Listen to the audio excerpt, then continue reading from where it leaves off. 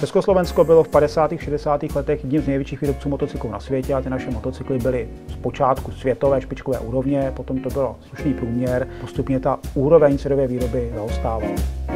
Já sedím na motocyklu ČZ 350 510 z roku 1978. Je to prototyp, jediný dochovaný kus a nedostal se do výroby, protože na investice do motocyklové výroby u nás nebyly peníze. Ve Strakonicích pan konstruktor inženýr František Pudil eh, v roce 78 vyvinul tento motocykl. Je to čtyřdobá 350 dvouválec, ale zvláštností je to, že to má ještě třetí ojnici s falešným pístem vyrobeným z bronzu, který funguje tak, že vyvažuje vibrace těch pravých pístů, takže ten motor, když je nastartovaný, tak si na ní položíte ruku, tak žádné vibrace necítíte, protože to vyvážení je řekl bych naprosto dokonalé.